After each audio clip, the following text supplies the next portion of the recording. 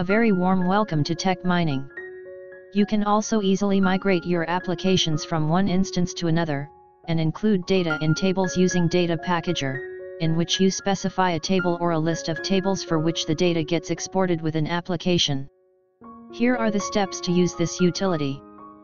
First, because of blob data type is not supported for export, since we have a blob column in the demo products table, we cannot use this procedure to deploy sales web application, unless we drop product image column.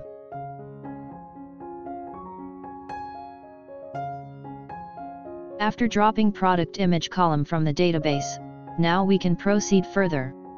In this steps we are creating scripts for supporting objects to package the application for installation in other environment.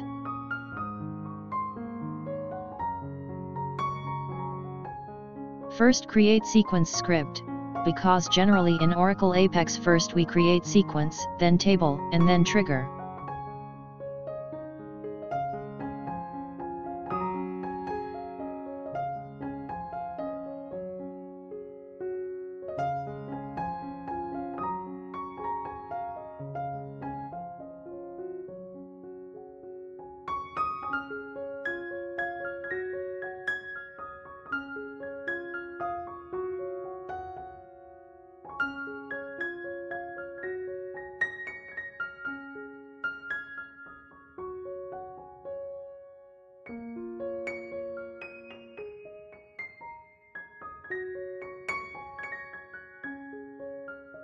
Using the up arrow button on the right side of the page, move up the demo product info table just after the demo customers table.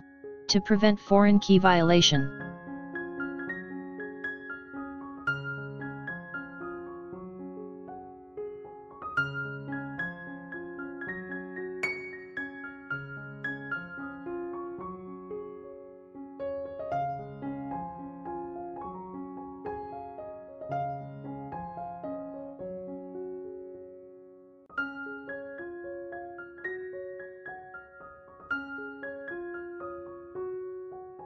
After creating these three database object scripts, in order to move data as well with the application, we use the Data Packager feature of Oracle Apex.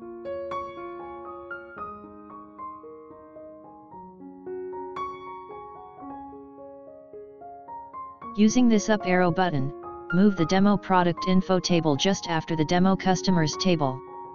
You have to place product info table before the order items table, because the product table is the master table to the order items table. If you don't do this you will get constraint violation message during the import process.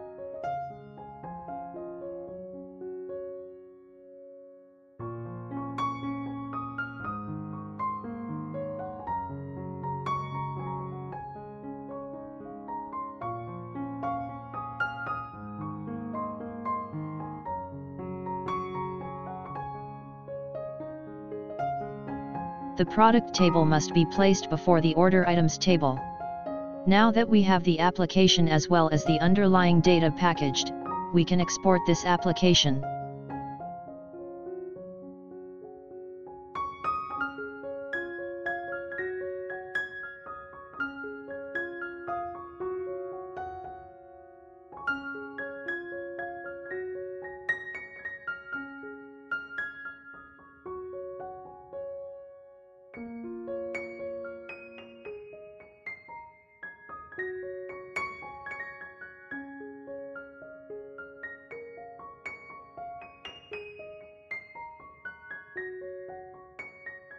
You need a new workspace on Oracle Apex site to test the import process. Click the info icon provided at the top to learn how to create a new workspace in Oracle Apex. After creating the workspace, log into it. Now import the application file that you just exported.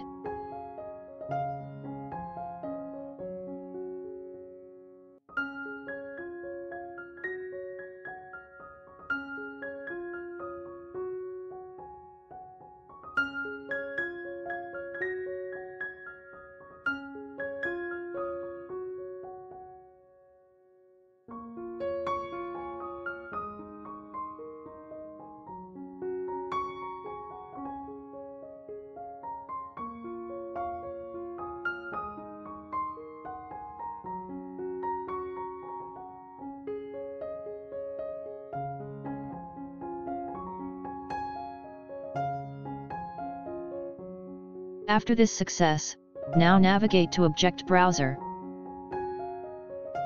and review the application tables that are installed along with the underlying data.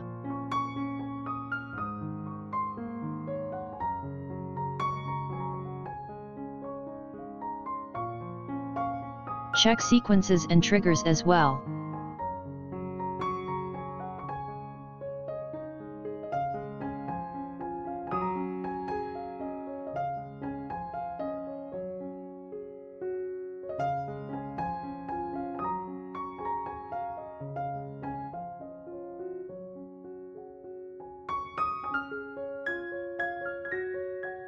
Now run the new application you've just imported. You will encounter an error saying you are not authorized to view this application. When you deploy your application you will need to manually manage your user to role assignments.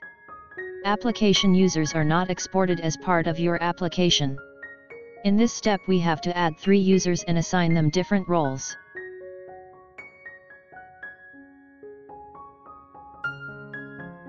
Create the first user with your new workspace email ID, and assign it administrator role.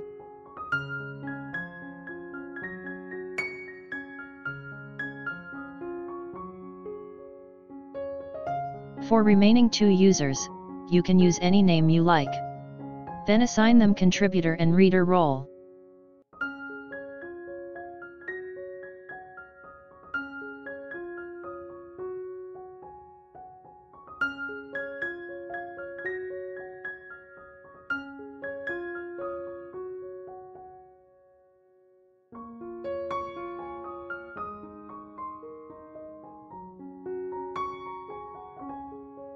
Set scheme to no application authorization required. Now you will be able to access your newly imported application.